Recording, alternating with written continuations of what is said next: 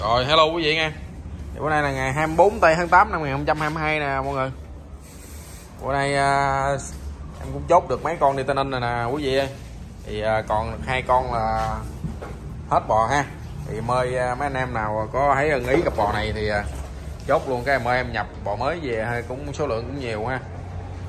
Thì mấy anh em à, muốn mua thì mai có bò về nhiều nha quý vị. Thì còn hai con là sẵn chuyến xe nè Bán giá hữu nghị cho nó ha bò này mét tư mấy nè, quý vị bao cho quý vị trên mét tư ha.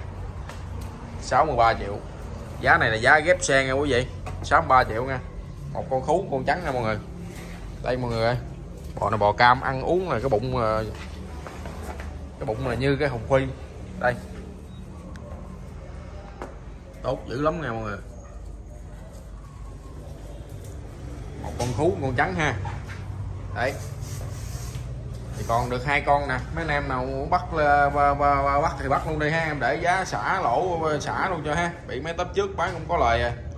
Thì còn hai con này em bán ờ, giá hữu nghị cho. Rồi sẵn chuyến xe ghép về tây ninh tối đêm nay cho nó mát ha. Mát bò sáng phiêu phiêu hoặc sáng sáng cái có mặt cả chảnh. Cho anh em ha, chăn nuôi. Đây, hang bò này em bao cho quý vị là trên mét tư bò bao cho quý vị mét tư đi lên. Ăn uống là quý vị khỏi phải bàn ha quý vị. Đây và một phúc lộc ờ, uh, xin gửi lời thân thương trường mến đến quý hàng anh chị ha. Trong và ngoài tỉnh ha xa và gần. Luôn luôn uh, tin tưởng ờ, uh, chợ bò phúc lộc ha. Và luôn luôn đồng hành uh, cùng chợ bò ha. Thì em xin uh, cảm ơn uh, quý vị nghe quý vị. Đây thì hang bò này là bữa nay chắc chút xíu chắc cũng uh, mấy anh em nào có duyên thì chốt luôn. Ha với đi chung với mấy con bò này luôn ha mọi người. Đấy đi chung luôn đỡ tốn tiền xe ra ha. Đây mai mấy anh em mua bò nhỏ, bò lớn gì cũng có về nhiều nha. Nha quý vị? Đấy.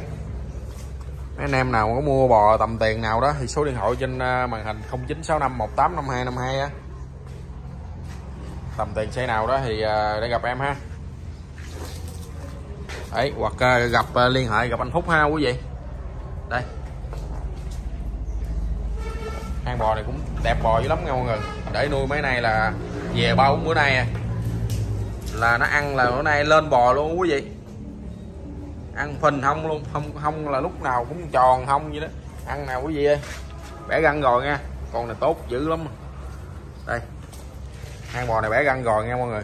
Chân móng là hoàn thiện hết nha. Đây. Bán à, giá này là cũng như giá giao hữu hữu nghị luôn nha. Bán cho sập vàng bò đó. Em thì à, lúc nào cũng sạch chuồng sạch chuồng nó nhập về lô mới cho nó dễ bán. Không có để à, tồn bò nha quý vị đấy, bán lô nào hết lô nấy. Đây, mọi người ơi. Rồi 63 triệu nha. Cho mấy anh em à, hợp nhãn thì alo ha.